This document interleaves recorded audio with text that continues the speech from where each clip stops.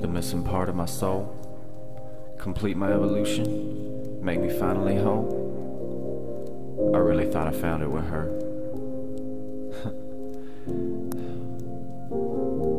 but no. Pick up my heart, continue the search. I wonder if I'm destined to hurt. Have a relationship I turn into a jerk, berserk, or insecure. Women call me crazy, but my sex needs a straight jacket. Qualities I want them to have are the same ones I'm lacking. My love is so tragic. I'm addicted to passion. So far from Jasmine and Aladdin. Closer to Bonnie Clyde on the way down, crashing.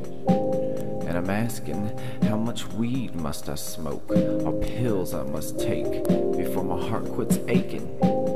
The bed shaking. Then 30 minutes later, the door closes. And I'm awake, contemplating the hearts that will break. I won't mean to. It's fate.